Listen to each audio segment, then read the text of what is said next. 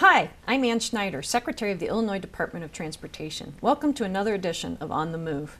Today I want to talk to you about the National Summer Transportation Institute. This is an exciting program where Illinois has been chosen as one of five pilot states to run this institute with high school kids from across the state to give them an advanced step up on their careers. And we'll be doing a traffic simulator as well. Project SYNCERE is a nonprofit organization dedicated to teaching students project based engineering curriculum. So they would learn everything about engineering through projects, um, whether it be windmills, cars, or such things like this as the intersection. They're used to seeing their teacher every day.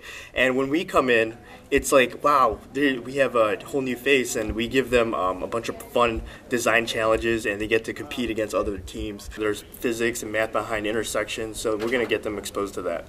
Civil engineering, like how people get places, and also like bridges, that's one fascinating thing, like how they're structured, how they have, have triangles and different stuff like that we get to build intersections like the roadways with the traffic lights. We actually get the opportunity to control the traffic lights and allow the people to get to point A to point B and get the chips and see who gets to get the most people through their intersection.